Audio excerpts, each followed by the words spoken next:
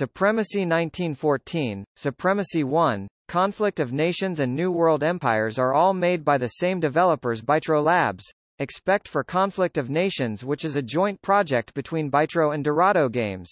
Best to start things off with the game that started it all, Supremacy 1914. You step in the boots of a World War I commander. Human wave, artillery and trenches. God is on the side with the best artillery. This can't be more true in Supremacy 1914. Artillery are the star of the game. Smart players could maneuver their artillery to deal damage without taking in much damage. To win a fight with artillery you can bomb him with bomber planes or have a artillery duel. Naval warfare in Supremacy 1914 is simple yet engaging. In Supremacy 1914 you only have three naval units, short-range cheap light cruisers, long-range heavy-hitting battleships and stealthy submarines. Cruisers and battleship have a range attack which mean you can bombard the enemy coastline. Now moving on to the more recent version, Supremacy 1, it stick to the formula of its predecessor with auto infantry generation but add in many specialized units ranging from assault infantry to anti-air and armored trains. Artillery still play an important role in Supremacy 1, however they added a variety of new artillery from gas artillery that can spawn in gas cloud and a short-range anti-tank artillery. Moving on we are now in World War II, right away we can see a different you can only spawn units in cities.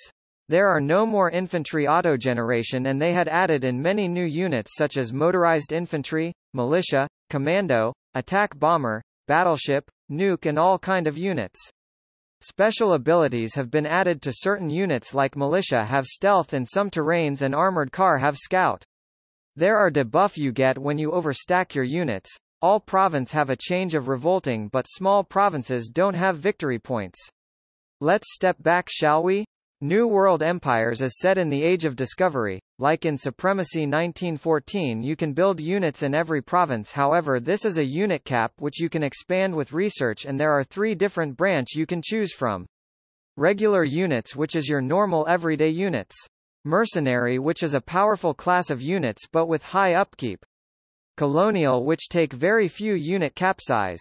There isn't just military you can control but you can also command civilians which include administrator that can upgrade provinces and stabilize captured land as captured land never stop smoking. Explorer which explore new land. Colonialist which capture new lands. There is no range unit in this game so artillery act like melee units and ships cannot bombard coastline. Now we are in modern days, welcome to World War III, I personally had spent a good amount of time into this game. Like in Call of War you build units in cities only but you don't have to wait and spend resources on upgrading units and small provinces have victory points and cannot revolt. Encouraging fast phase offensive and maneuver and the game encourage you to make the best of your units by having long production time and have combination of buildings to mobilize units. Unlike in Call of War the missile is its own class and can only be shot down by specific units. Missiles are split into three types.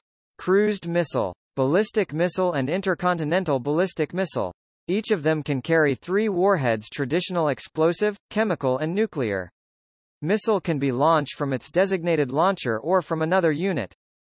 Conflict of Nations also bring a new type of unit. Officers.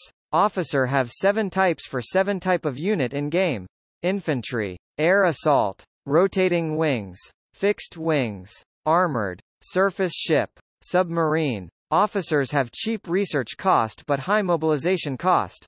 Officer are powerful units on their own but their true power are shown when stacking them with other units as they provide buff to units of the same stack.